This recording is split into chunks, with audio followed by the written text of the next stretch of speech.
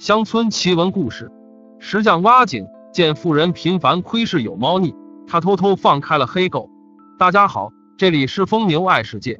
刘义珍母亲在一个雨夜闯进了刘石匠的家，刘石匠夫妻不知所措，看他分娩在即，善良的刘石匠夫妇为其找来了稳婆，使其平安诞下一个男婴。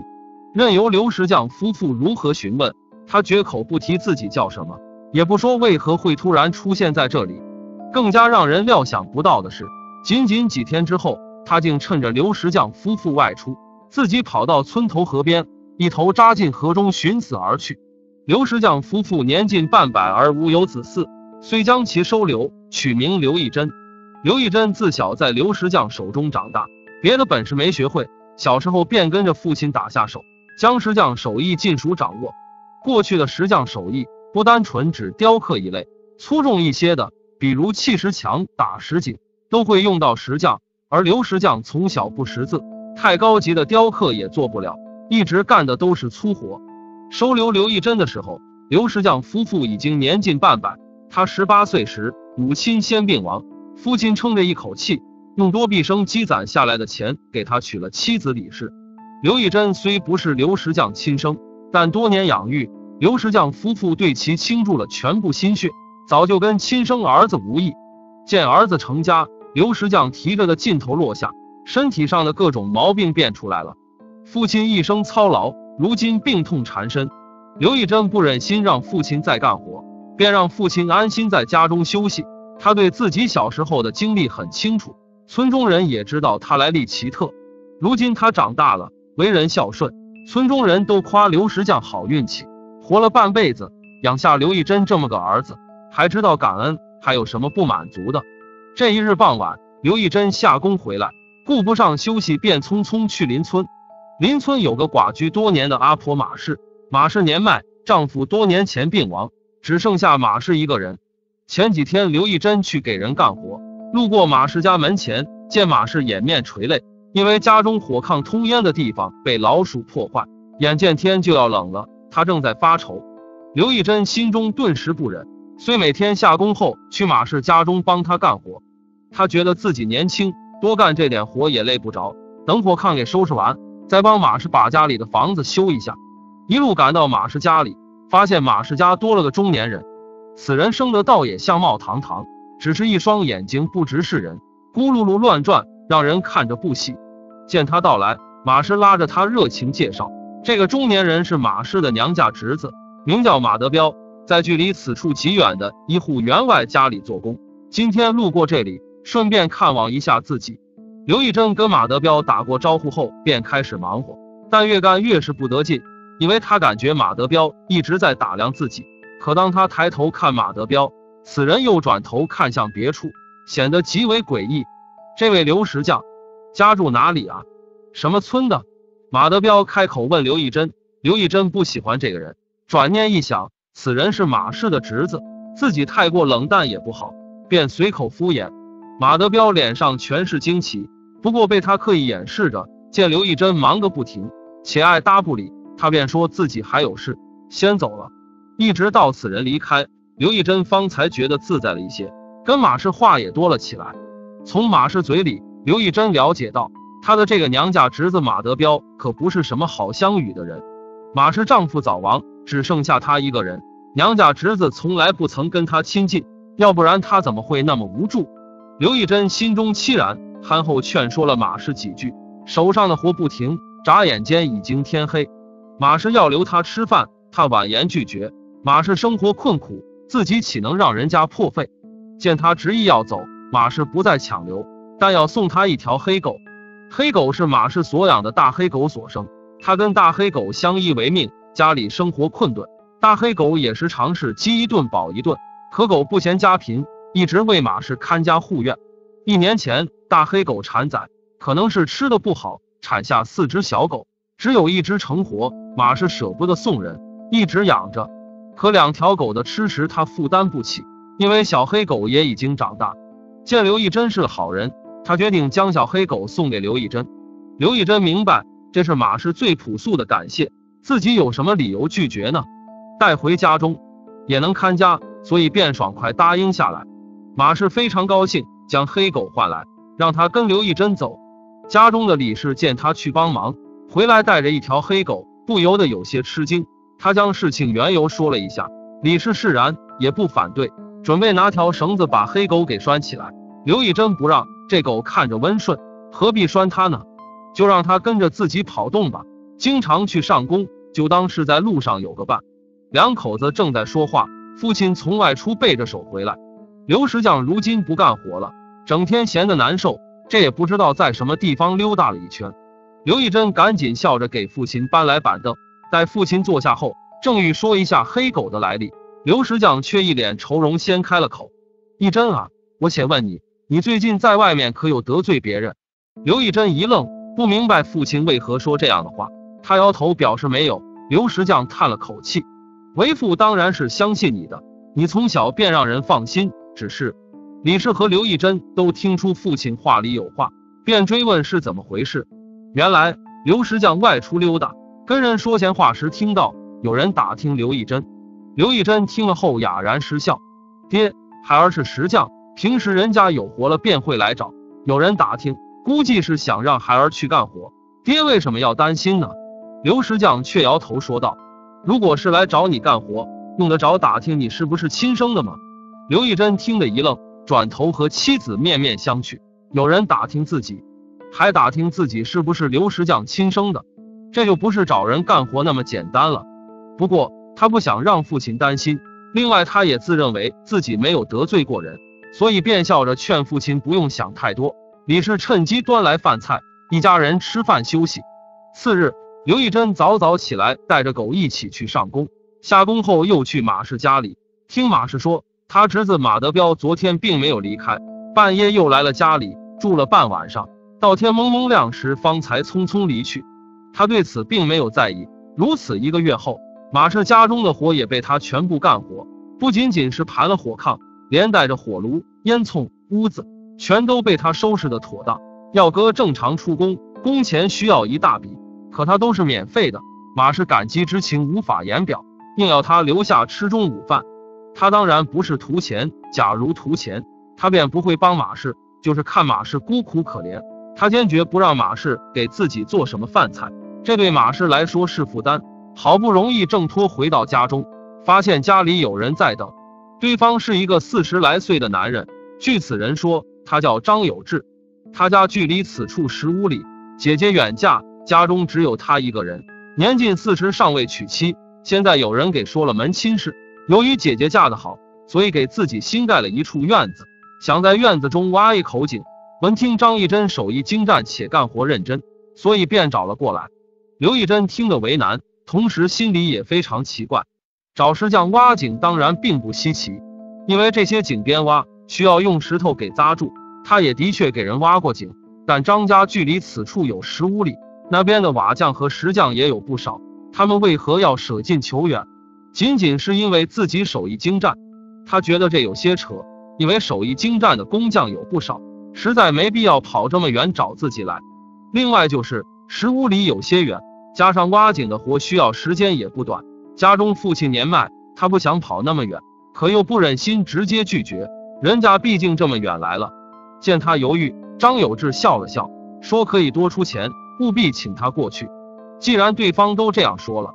他不好再拒绝，便点头同意。时间刚刚到下午，说动便动。他带上自己的工具，跟张有志出发。临走时，妻子李氏交代：十五里说近不近，说远也不是太远，还是可以时不时回来一次。另外，他还可以带着黑狗一起去。他点头同意，带着黑狗跟着张有志而去。刚出发没多久，遇到马氏在路边捡拾柴禾，黑狗欢快跑过去跟马氏撒娇。刘义珍也跑了过去，边帮马氏将柴捆好，边说自己要去给人家挖井。他捆好柴，发现马氏在盯着张有志看，他唤着黑狗便欲再走，可马氏却一把拉住了他，小声说道：“要不然就别去了。”刘义珍苦笑：“马婆婆，我都答应人家了，再说人家给的钱也多，用不了多久。”马氏闻言，认真想了一阵后，又说道：“出门干活，而且还是挖井。”可一定要小心，真要有事应付不了，黑狗可以带你传信。他点头表示认同，随着张有志再次出发，到了地方后，才发觉张有志的确没有说谎，也不知道人家姐姐嫁了个什么样的人家，竟然给弟弟盖了如此好的一处宅子，高门大院，挖井的地方在后院。平常人家吃水用水，多是村里甚至是几个村共用一口井，这些井无一例外全是旱井，人工挖成，周边用砖扎实。平时需要去井边将井水汲出来，用扁担和木桶挑回家中或吃或用，特别耗费时间。而一些有钱的人家会在自己家院子里挖口井，用水更加方便。这张有志家盖的这么好，配套的井自然要有。一般在家中挖井，大多会用石头扎起来，更加结实和耐用。仔细看了看后院的地形，刘义珍感觉这井不难挖，下面碎石极少，这活不难干。他当下便应允了下来，只是此处离家有十五里，每天回家不方便，他需要住在这里。主家不但要管吃，还要管住。张有志一口答应，就在后院一间屋子里给他安排了住的地方，让他择日开工。刘义珍原本就是勤快人，并不想耽误时间，安置好后便进入了上工状态。张有志则开始向后院里运送石头。这是一处新院子，而且还没有正式完工。所以张有志和家人并没有住在这里，整个院子空荡荡的，特别是后院，就只有刘义珍一个人和那条黑狗。刘义珍干活认真，而且心思细腻，黑狗跟着他而来，算是和他作伴。这黑狗性子好，轻易不会下口，但不时有送石头的人过来，不能跟在家那边似的，任由它乱跑。让黑狗由住性子跑，会有两种可能。一种是他被一些当地的偷鸡摸狗之辈给捉住吃掉，到时候自己哭都没有地方哭去；另一种就是他如果发起狂来，咬到别人，自己也会吃不了兜着走。出于这些考虑，他还是跟张有志要了一根绳子，将黑狗拴了起来。黑狗倒是温顺，任由他摆布。不觉他已经来到此处三天，地下也被他挖出了个两尺深的方坑，并不是他技术不行，也不是他偷懒速度慢。而是最难的时候便是开始，把地方选好，开好了头，后面便顺理成章。但就在这三天时间里，他发觉有些不对劲，因为他看到有个妇人数次在窥视自己。据张有志所说，他和家人都还没有搬来，人家也已经全部将石头送来，除了他和黑狗，平时根本没有别人。就算是有别人，也该是张有志，为何会是个妇人？退一步来说。假如此妇人是张有志的妻子，或者是他的家人，这里原本就是他的家，为何要偷偷摸摸、大大方方出来看看井挖的怎么样了？这也说得过去。这般偷窥，明显不对劲。可是，就算给刘义珍十颗脑袋，他也想不明白这里面究竟有什么猫腻。第四天下午，他刚从地下探出头来，发觉妇人趴在前院和后院交接处，探着个脑袋向这边看，见他露头。妇人赶紧将脑袋缩了回去，他再也忍不住了。不过他并没有马上发作，而是不动声色。到了第二天中午，当妇人脑袋刚探出来，他突然从一边闪身出来，直勾勾盯着这个妇人看。妇人见他并没有在坑中，而是突然出现在了自己面前，不由得吓了一跳，呆呆地看着他。刘义珍仔细打量此妇人，大概四十多岁，穿着华贵，明显不是普通的妇人。他数次偷偷摸摸看自己干活干什么，这样频繁窥视，让人不得不怀疑他藏着什么见不得人的目的。见妇人有些惊慌，他皱眉问道：“夫人这是在看什么？”妇人手足无措，正无言以对时，张有志出现了。他一脸笑容，声称这就是自己的姐姐，院子是他出钱所建，他十分上心。且娘家现在只剩下他这个弟弟，姐姐对院子认真。明显是担心这口井挖不好，所以才会想过来看看。不过姐姐怕羞，所以没有直接过去，只是在此处观察。这个解释明显有些牵强。不过刘义珍没有再纠缠，因为他是在人家家里，是被雇佣而来，对方已经给出解释，他再纠缠不清，只怕会闹得不愉快。虽然不再纠缠，可他心里感觉不舒服。此妇人穿着不错，但行为鬼鬼祟祟。这里面透着诡异。张有志说妇人是他姐姐的事，刘义珍是相信的，因为兄妹二人长得还是有相似之处。他翻来覆去的想，也想不明白妇人和张有志会有什么图谋。他只是个普通的石匠，人家能图自己什么？罢了，赶紧将井挖好，结算工钱后离开。相信此后也再不会跟这对兄妹打交道。夜深时，他又突然想到了马氏的话。他和张有志来时，马氏无意中看到了张有志，他的表情很奇怪。难道他认识张有志？还有，他为什么要说让自己小心的话？次日天亮，他注意观察了一下，再没有见到妇人窥视。不仅如此，连着十天，他都没有再见到过妇人。他甚至觉得自己当初是想多了。也许人家真的只是关心挖井进度呢。如今井已经挖下去近两丈深，估计快见沙层了。他务必打起十二分的精神，因为见沙层时是最危险的，一不小心就会发生塌陷事件。被活活埋在沙层里的挖井人不是没有，一旦发生就是悲剧。第十一天晚上，张有志让人送来的饭有些馊了，不过刘义珍不挑，本来就是受苦人，但晚上他肚子疼的不行。开始频繁跑厕所，连跑三次。正在他感觉肚子稍微舒服些时，突然听到前院里有人在窃窃私语，听声音好像有一个女人。由于之前被妇人窥视过，他对此十分敏感，且此时已经是半夜，为何会有人说话？他蹑手蹑脚过去，就听一个声音说道：“此时先不要着急，我们计划的不是到沙层吗？怕什么？外面有咱们的人，他逃不掉。”就怕他会察觉。我看这小子面相老实，其实十分机灵。刘义珍听得骇然，因为这两个声音他全认识，一个属于张有志，另一个则属于马氏的弟弟马德彪。他怎么会跟张有志在一起？这小子来就来了，还带着一条狗。动手时，那条黑狗一定要先收拾了，否则怕会麻烦。这是张有志的姐姐在说话。三个人竟然半夜在此密谋，而密谋的对象明显就是自己。刘义珍听得震惊，也不敢声张，悄悄回了自己的屋子，再睡不着。他不明白这三人为何要针对自己，但既然他们这样做，肯定有理由。此时自己想逃，怕也是不能，得想个办法出来。一直到了天亮，他找到张有志，说自己出来时间已经不短，想回家看看。张有志马上拒绝，说挖井要紧，等完工再回家不迟。刘义珍没有坚持。回到后院，便放开了黑狗，在黑狗脑袋上拍了几下，黑狗窜出院子离去。他则带着东西下到井中开始干活。黑狗三天后回转，刘义珍三天没停歇，甚至是晚上也没有休息，一直在干活。见黑狗回来，他没有再拴，而是让黑狗卧在原来的绳子处，自己先爬上墙头看了一下，然后又去找了张有志，说已经挖到沙层。张有志闻言大喜。让他抓紧赶工，不要耽误时间。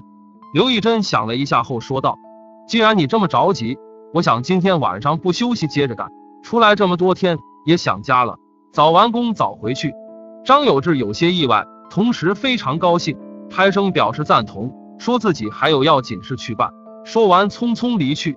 吃过晚饭后，刘义珍咬着灯下到井中，片刻后，上面的黑狗突然开始狂吠。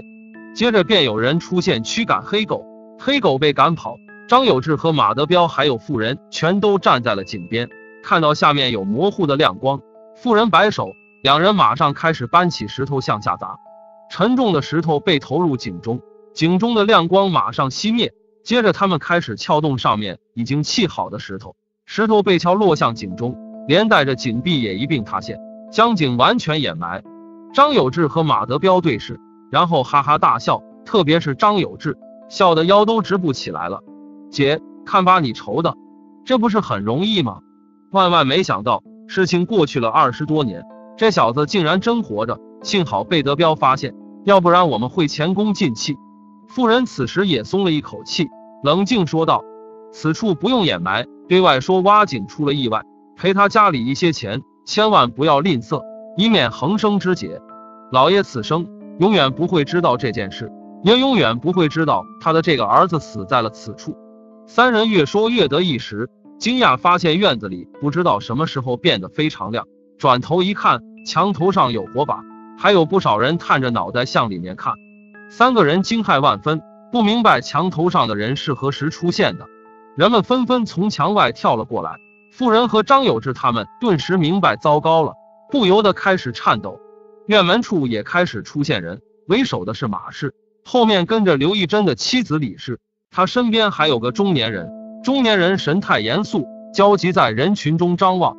妇人看到这个中年人，顿时露出绝望神色，嘴里喃喃说道：“老爷，你怎么来了？”中年人根本不理妇人，还是在人群中张望。李氏也十分焦急，因为她在群中没有看到自己的丈夫，便开始叫喊：“夫君，夫君！”刘义珍住的房间门突然被打开，从里面走出一个人，不是刘义珍是谁？张有志和妇人十分吃惊，他不是该在井里吗？什么时候到了屋中？中年人过来拉住了刘义珍，仔细辨认后，全身不住颤抖。这到底是怎么回事？原来这中年人是刘义珍的亲生父亲秦员外，而妇人则是他现在的妻子。当年秦员外原配妻子去世，准备续弦。有媒婆给说了个女人，便是眼前的妇人张氏。但那个时候，秦员外却看上了另一个女人，并且已经致使对方怀孕。得到此消息的张氏和弟弟，为了入主秦家，便对此女人下了黑手。可怜的女人带着身孕逃走，在一个雨夜逃到了刘石匠家，并且分娩生下了刘义珍。女人感觉自己再也回不到秦家，定是秦员外负了心，所以才指使人害自己。万念俱灰之下。他投河自尽，刘义珍从此跟着刘石匠长大。也许是坏事做尽，张氏成功嫁给了秦员外，但却没有孩子。马德彪当年就跟张有志是朋友，当年的事他也有参与。事成后，他跟着进入秦家，他去姑姑马氏家里，意外看到了刘义珍。他一眼便发现刘义珍长相和秦员外相似，由此开始怀疑，并且开始打听。这就是刘石匠为何会听说有人打听刘义珍的原因。刘义珍的身世在他们那边人尽皆知，马德彪很容易就打听了出来。他赶紧回去告诉了张有志和他姐姐，姐弟两个闻言简直都惊呆了，赶紧想办法，最终决定要害了刘义珍。马德彪在老家这边盖了新房子，他们决定拿这个做文章。刘义珍既然是个石匠，那么让他来挖井，挖好后将他闷在井里，谁也不知道。就这样，张有志找来了刘义珍，却在来的路上巧遇马氏。马氏见过张有志，他和自己侄子在一起过，而且侄子一直打听刘义珍。马氏便起了疑心，告诫刘义珍要小心，真有事让黑狗来报信。刘义珍走后，马氏越想便越觉得可疑，去刘义珍家问了刘义珍身上有没有什么秘密。得知刘义珍的身世后，他就让刘义珍的妻子李氏去了秦员外家。将这件可疑的事告诉了秦员外，自己侄子在秦员外家混饭，马氏自然是知道地方的。秦员外不敢相信自己有个儿子漂流在外，可当年那个消失的女人的确怀着他的孩子。将信将疑之下，他跟着李氏去见马氏，恰好黑狗被刘义珍放开，到了马氏家里，马氏让秦员外找来人一起去了张有之家。刘义珍在黑狗报信的三天中没有闲着。对方的深夜密谋使他感觉到了危险，他用三天三夜在井中挖了一条通向自己睡觉房间的地道。见黑狗回来，他爬上墙头，看到马氏已经带人前来，他就找到张有志，说挖到了沙层，目的是引张有志他们动手。张有志果然上当，赶紧通知了马德彪和姐姐，准备下黑手。刘义珍下到井中，并且将灯放在井下，然后便钻进了通道中。爬到了自己休息的屋子中，看着张有志他们向下投石头，并且将井桥塌陷。张有志和姐姐以为大功告成，得意洋洋，却把实情给说了出来。被埋伏着的那些人听了个清楚。